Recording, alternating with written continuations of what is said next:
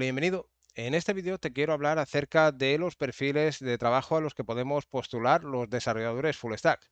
Nosotros como desarrolladores full stack tenemos un montón de ventajas. Entre ellas, la ventaja principal es que nos podemos encargar del back y del front.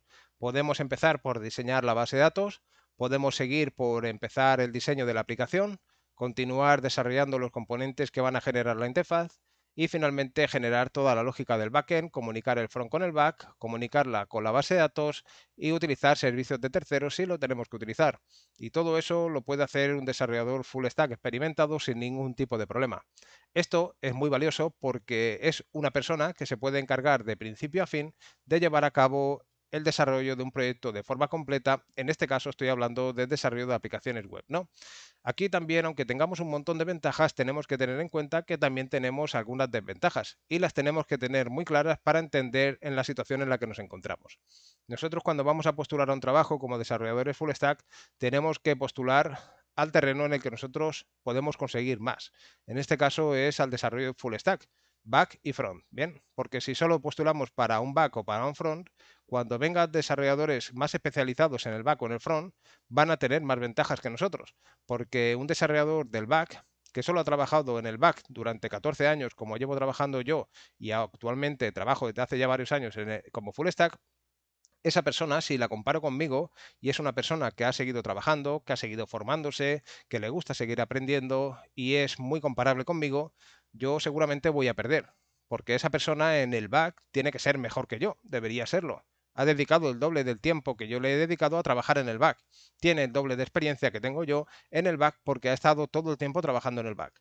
Yo, en cambio, tengo experiencia en el back y mucha, y puedo hacer prácticamente lo que sea, pero me, me faltarán seguramente algunas cosas que esta persona se habrá peleado, porque no he tenido el tiempo de trabajar en esas tecnologías o en, esas, en esos casos. Eso no quiere decir que tenga algún problema yo por desarrollar alguna funcionalidad en el back, para nada. Yo trabajo en mi día a día como desarrollador full stack, me encargo de todo lo que tiene que ver con el back, tanto de procesos como de comunicación con el front, como de comunicación con servicios externos, como con cualquier cosa que tenga que llevar a cabo. Y realmente no tengo ningún problema. Pero, como digo, y es obvio, la persona que le ha dedicado el doble de tiempo a esa tecnología, a ese stack, tiene que tener ventajas sobre mí. Lo mismo pasa si me intento comparar con un desarrollador del front.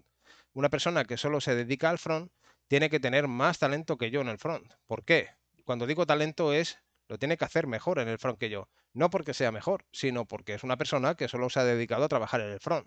Y si ha estado trabajando 8 o 10 años en el front y yo lo he estado compaginando con el front y con el back, no puede ser que yo sea mejor que él si tenemos las mismas cualidades, ¿no? Siempre estoy comparando con eh, desarrolladores con las mismas o cualidades muy parecidas.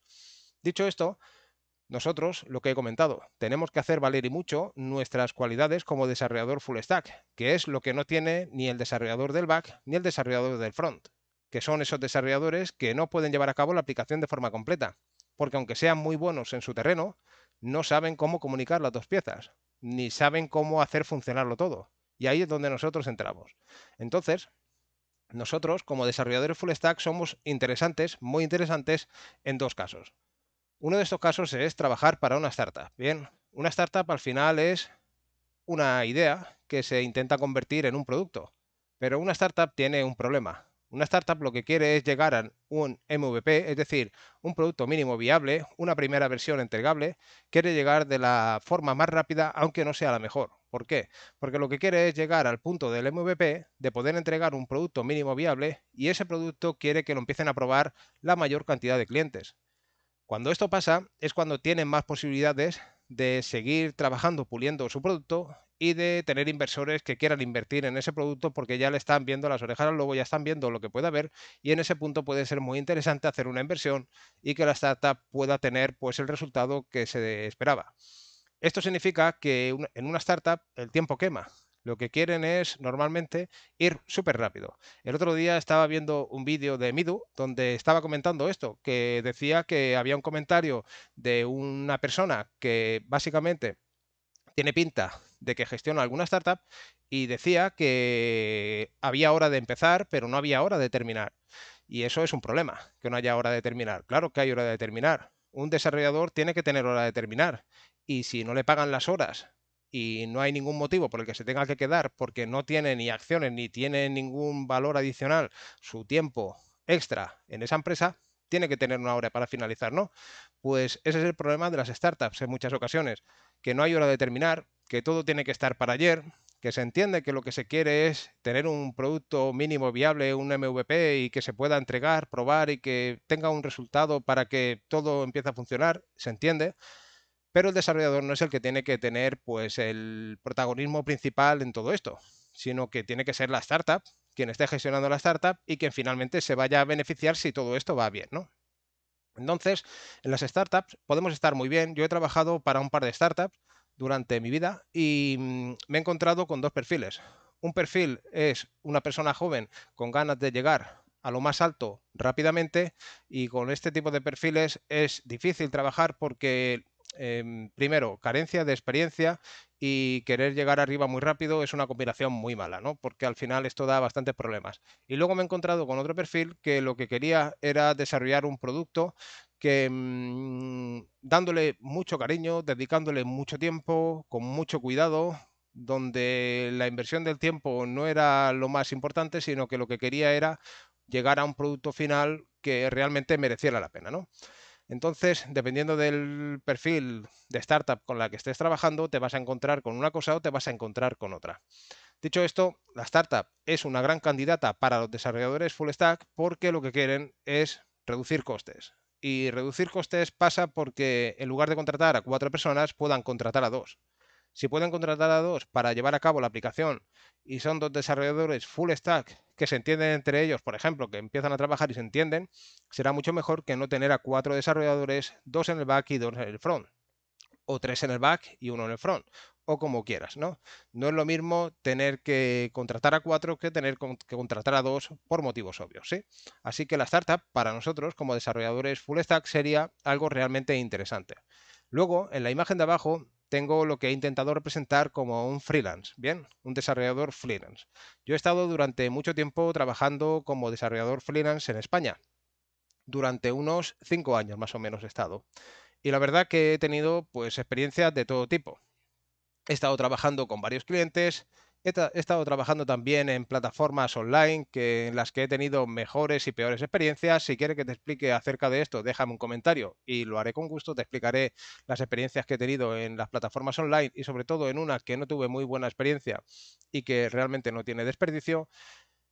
Y realmente el, trabajo eh, freelance es muy interesante, pero tiene dos problemas. El primer problema de todos es que los clientes no vienen a ti. Tú tienes que ir a buscar a los clientes. Esto no pasa cuando estás trabajando para una empresa o cuando estás trabajando para una startup, por ejemplo, ya que en ese punto lo que está pasando es que tú ya tienes trabajo y no te tienes que preocupar de buscar trabajo. Sabes que a final de mes vas a cobrar y si no pasa nada no vas a tener ningún problema por seguir cobrando mes a mes. Cuando trabajas como freelance tienes el problema de que como no tengas trabajo y no tengas clientes vas a dejar de cobrar. Y eso es un problema bien serio, ¿no? Sobre todo si tienes necesidad económica de poder eh, traer dinero a tu casa cada mes. Dicho esto, eh, tenemos el problema de ir a buscar los clientes, pero no solo ese. Tenemos el problema también de que tenemos que estar en España, siempre hablo en España, eh, yo en lo que conozco, tenemos que estar dado de alta como autónomos, es decir, pagar nuestros impuestos religiosamente y esto supone muchísimo dinero. Bien, en España, para que te hagas una idea y entiendas más o menos a lo que me refiero, un, desarrollador freelance que se da de alta de autónomo y que paga sus trimestres y sus impuestos eh, sin pagar de más, simplemente pagándolo justo, solo de autónomos tienes que pagar 300 euros al mes entre lo que entre. Aparte de esto, tendrás que tener una gestoría o algo que te gestione pues todo lo que tiene que ver con los impuestos para que no tengas ningún problema, no se te pase nada por alto y cuando llegue el momento de hacer la declaración, también la puedas hacer cubriendo todo lo que ha entrado en tu casa. Porque como pases algo por alto, ya te digo yo que el palo que te dan no es pequeño si se te pasan 10 céntimos, pues te pueden dar un palo tranquilamente de, varios miles, porque a mí me ha pasado, y no por problema mío, sino por problema del gestor, que algún gestor despistado te hace una jugada de estas y luego a ti realmente te cuesta dinero, ¿no? Entonces tenemos que tener en cuenta que el tema de los impuestos no es barato. Pero no solo eso, sino que luego cuando facturamos a nuestros clientes, si trabajamos para una plataforma online, esa plataforma online nos va a pedir dinero, nos va a pedir una comisión.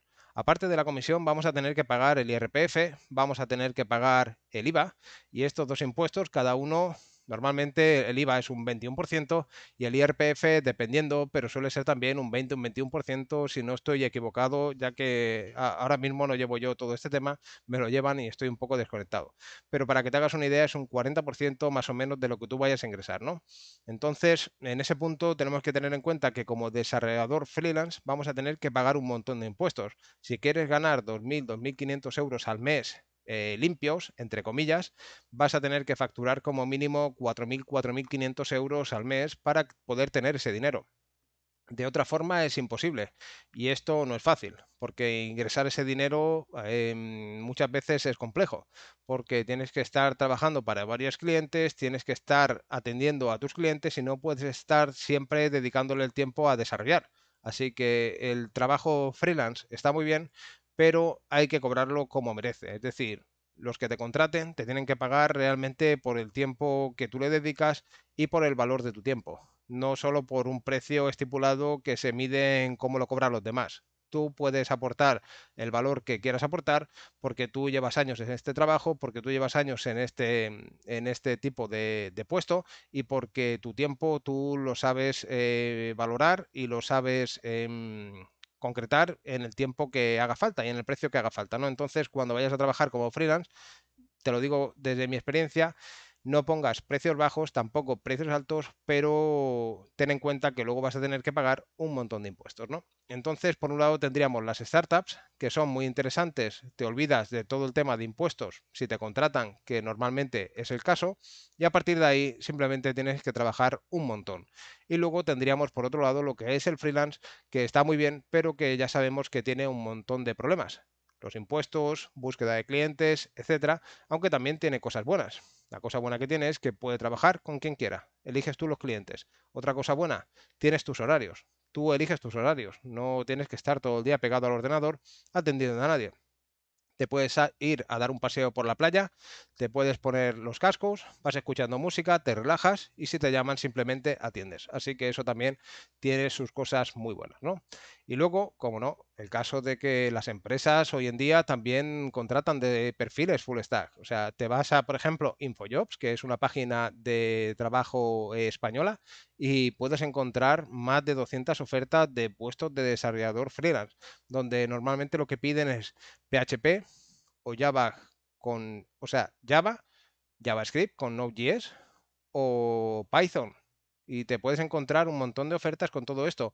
Normalmente es PHP, Java, Node y, Python y todo normalmente de la mano de JavaScript, ¿no? Porque al final el cliente siempre se escribe, se utiliza eh, JavaScript y es con lo que se suelen generar todas las interfaces hoy en día gracias a los frameworks, a Vue, a React, Angular, Svelte, etc.